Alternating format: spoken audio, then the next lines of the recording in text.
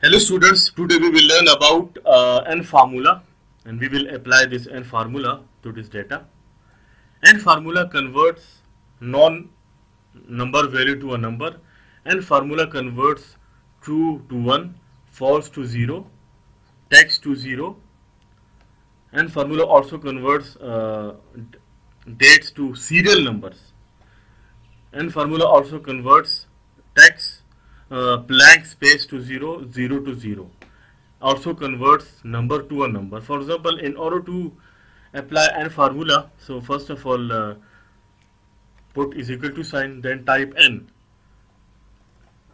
Then select cell C10, bracket close, hit enter. So, as I told you that n formula converts number to a number. Now, put is equal to sign, type n and, uh, and select cell C11 bracket close hit enter n formula converts true to 1 true value is is equal to 1 now in order to find the uh, false first of all put is equal to sign then type n. Select cell C12 bracket close and hit enter. So uh, n number converts or n number returns the value 0 true is equal to 1 false is equal to 0 type n se select cell c13 bracket close. So 0.34 as I told you n number converts number to a number true to 1 false to 0 text to 0 also. Now nt is equal to sign. Type n select cell C14 bracket close and hit enter. It's 0 now blank space empty space.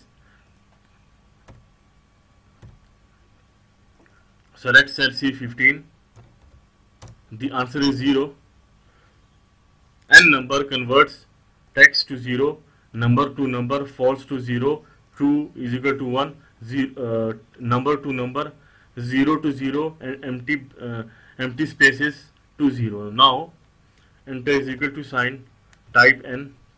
Select cell C16 type n. Select cell C16 bracket close and hit enter. So n number also converts 0 number to a 0 number. Now let's find out the n number of uh, uh, date. Enter is equal to sign type n.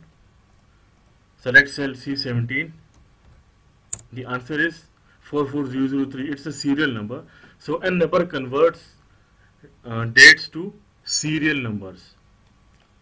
So today we learn how to apply n numbers to number true false empty space text zero or date.